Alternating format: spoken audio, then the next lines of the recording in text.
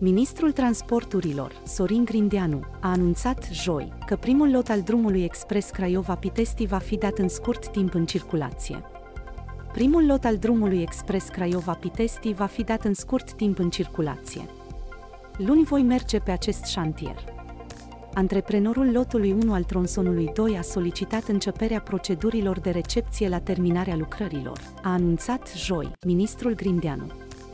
Lotul 1 al drumului Expres 12 va avea rol de variantă ocolitoare a Balșului. După deschiderea circulației rutiere, accesul pe acest lot se va face astfel.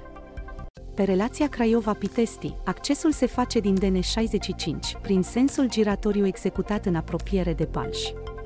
Pe relația Pitesti-Craiova, accesul se va face prin sensul giratoriu construit pe DN65, spre localitatea Piatra Olt, a menționat Sorin Grindeanu. Primul lot al drumului expres Craiova-Pitesti va fi dat în scurt timp în circulație.